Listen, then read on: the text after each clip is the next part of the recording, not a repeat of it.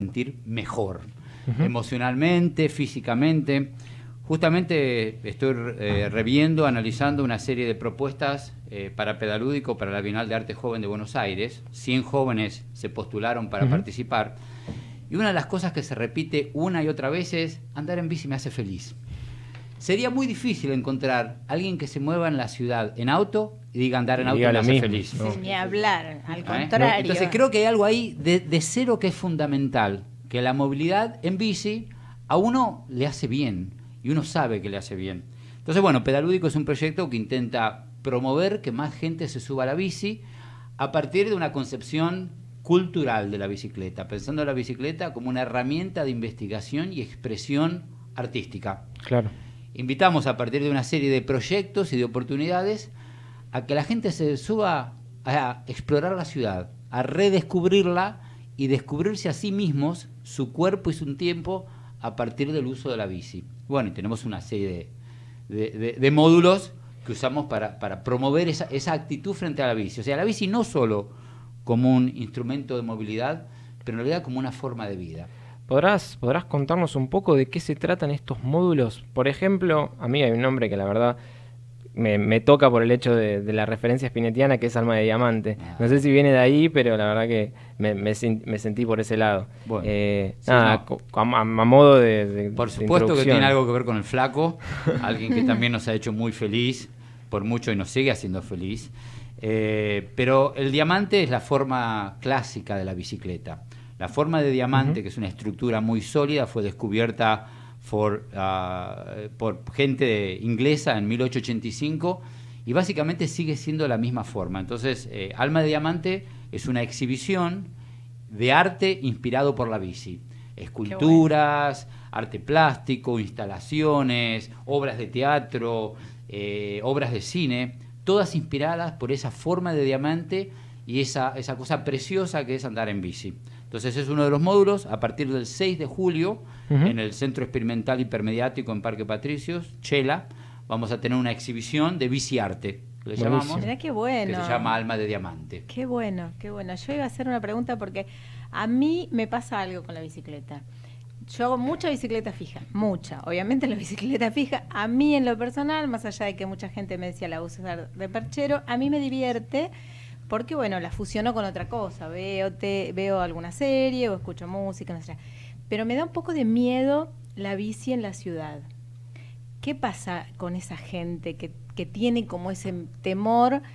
claro, porque digamos, pasan tantas cosas en, la calle. Digo, los, muchos de los, de los automovilistas eh, manejan de una manera tan, tan loca digo que la persona que va en bicicleta, más allá de que, bueno, la ciudad tiene muchas bicisendas y demás, pero bueno, yo no vivo en la ciudad. Me da como un poco de miedo convivir con los autos.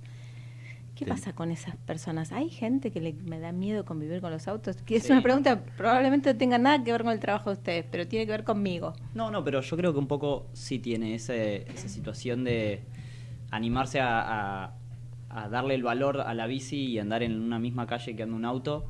Es un poco intenso. Eh, de por sí las velocidades son diferentes, la forma de moverse es diferente, el contacto con el aire en la bicicleta es de una forma y en el auto se da completamente de otra. Entonces me parece que es, es válido ese miedo. De a poco creo que se va perdiendo con el, con el andar, y el animarse y encontrar qué calles son más prácticas que otras, qué zonas son más prácticas que otras. Recién venía para el centro y está como más cambiada también la situación del centro porteño a como era hace un par de años. Sí, ni hablar. Eh, es, esa transformación y creo que con, el tiempo la ciudad también se, se, va transformando con esto de que hay más bicisendas y más gente anda en bici. Ahora ya hay, hay tráfico en la bicisenda, como que hay que ir atento, no podés estar como paseando tranquilamente, porque ahora es que ahora es pico, que la gente va al trabajo, la bicisenda también está cargada. Yo creo que ese miedo de a poco se va perdiendo, hay que animarse como todo, no, no te vas a ir a, una situación muy compleja apenas te subís, pero sí está como esa invitación a decir, bueno, o salir un fin de semana, que es otra forma de abordarlo, andar más tranquilo, no sé. Sí. Yo creo, yo creo que de cualquier manera los beneficios eh, superan, eh, en tal grado eh, los riesgos. O sea, la realidad es que tenés más riesgo estando arriba de un colectivo, estando arriba de un auto o caminando por la ciudad a nivel de las estadísticas que andando en tu bici por las bicisendas. O sea, Buenos Aires ha hecho un esfuerzo muy importante para promover la visibilidad, para permitir que gente de todo tipo, no solo jóvenes de 24 años, pero gente de todo tipo se suba a la bici. Y aparte está esto de la masa crítica, o sea, nos tenemos que subir a la bici para que la bici cada vez sea más segura. Cuanto más seamos en la bici, hay una proporción de seguridad que aumenta muchísimo. Entonces, con cada 1% de gente que se sube a la bici, la seguridad vial para los que andan en bici sube un 10%. Claro, claro, claro.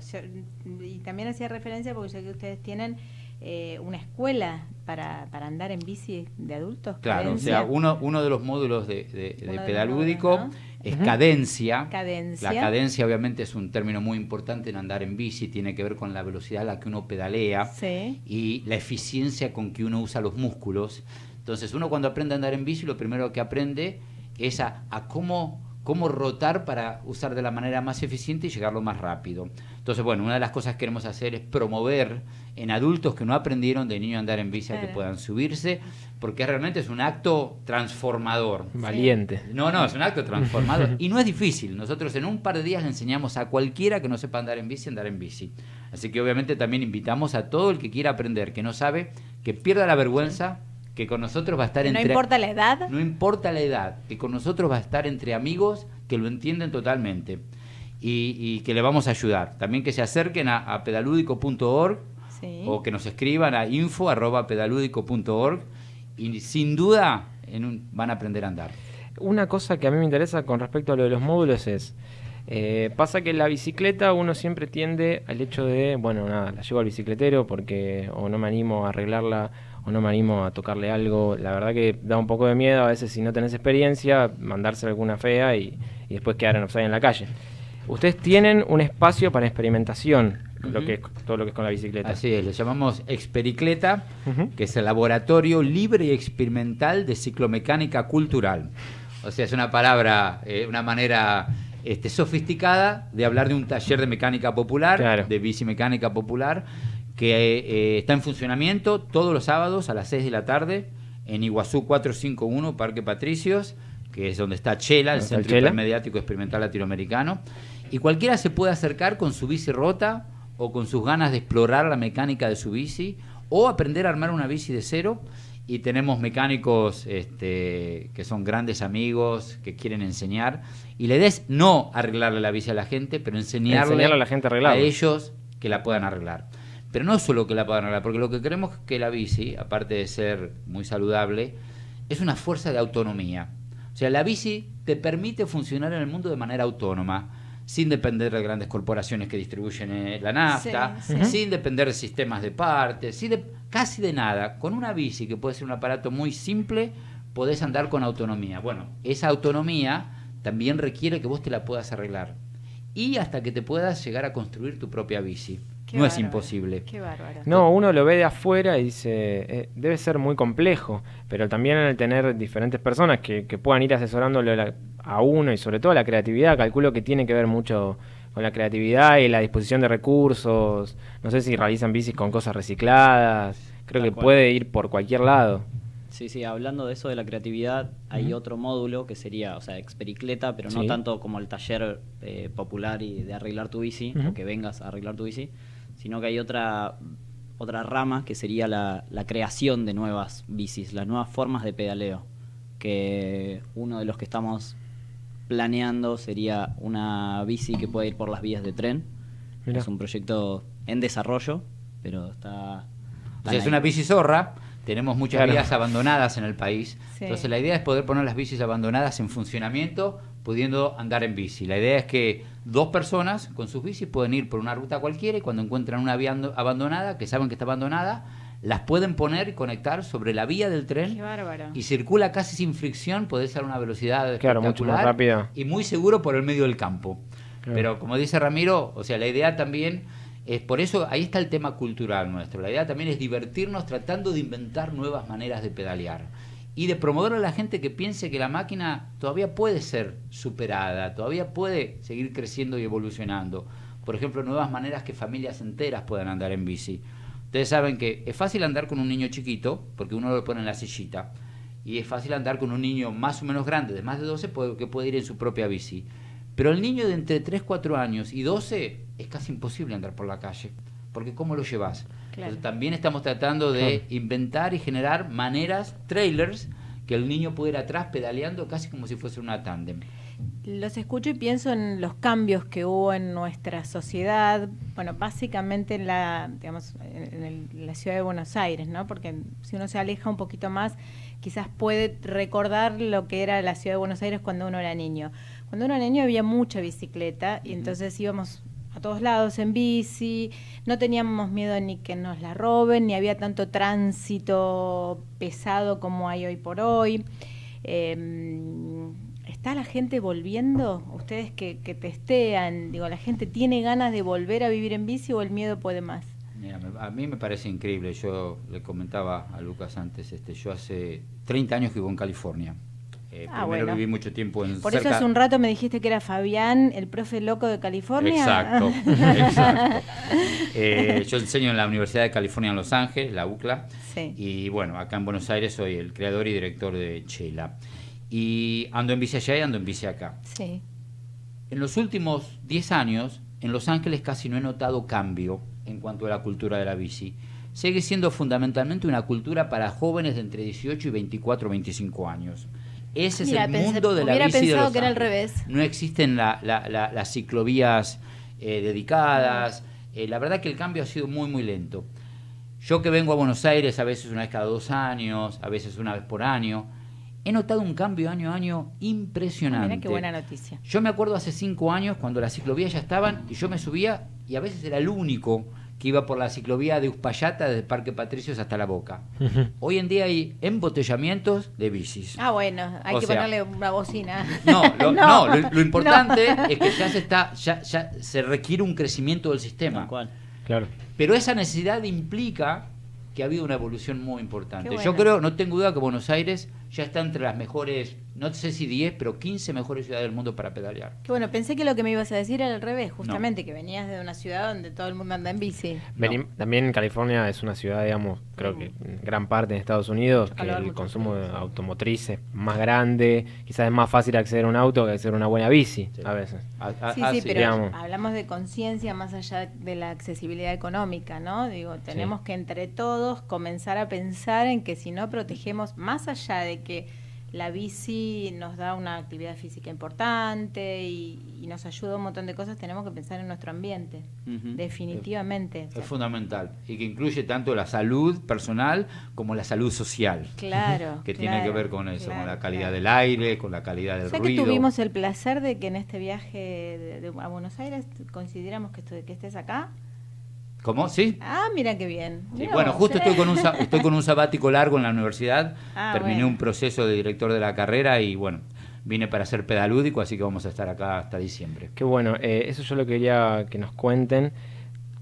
En septiembre se viene la Bienal de Arte Joven en Buenos Aires. Ustedes van a estar haciendo una actividad muy interesante que es una residencia. ¿Cómo fue el proceso? Porque esto no es un proceso que hicieron una convocatoria y, se desarrolla en, una semana, sino que vienen trabajando ya hace tiempo con la Bienal y cómo se preparan y qué, qué cuáles son las expectativas para esa Bienal.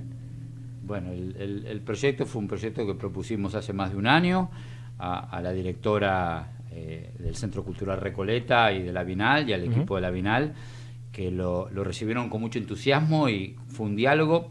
La idea es que seis artistas hagan la residencia que llamamos laboratorio pedalúdico y durante tres, tres meses van a pensar cómo invitar a la gente de Buenos Aires a explorar la ciudad en bici como una forma de descubrimiento cultural de la ciudad. O sea, van a crear pedaleadas como arte performático. La idea es salir a explorar la ciudad. Ahora, al mismo tiempo lo que estamos desarrollando es tecnologías, toda una serie de sensores que le ponemos a la bici que van a ir detectando, por ejemplo, el color del espacio, la velocidad del movimiento, la vibración de la calle. Todo eso va a ser transmitido en tiempo real a la Bienal, donde va a haber un observatorio pedalúdico que te va a permitir ver la ciudad explorada en tiempo real.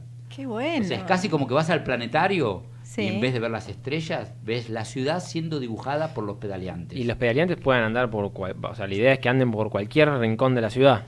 Bueno, van a ser guiados por los artistas ah, en base a salir en búsqueda a partir de una fuerza estética. O sea, por ejemplo, un grupo tal vez salga en búsqueda del color.